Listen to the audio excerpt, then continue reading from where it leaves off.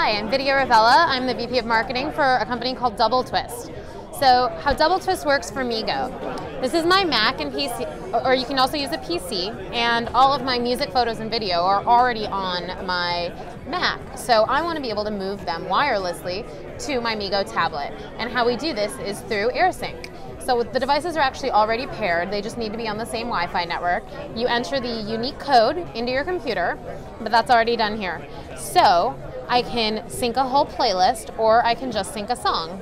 So here I pick a song, Wu Tang Clan. We'll go to my MeeGo device and you see a status bar here.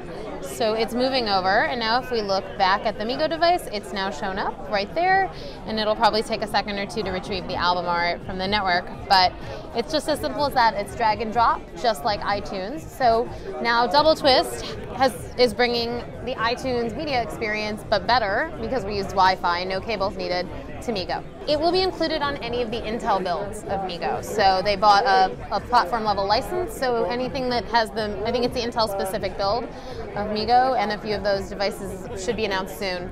Will have doubleTwist AirSync on it. It is free for those users. Um, AirSync is a feature we charge five dollars for on Android, but Intel is giving it to users for free. And the desktop software that you need on your Mac and PC is also free. We don't really have competitors for the MeeGo platform per se. I mean, you can always use Windows Media Player or your file browser. I mean, the file browser is our competitor, but then you need to use the cord. You need to use your USB cord to plug your tablet in, and on a 10 inch tablet, that makes absolutely no sense. It's too cumbersome. My name is Vidya Ravella, and this is doubleTwist.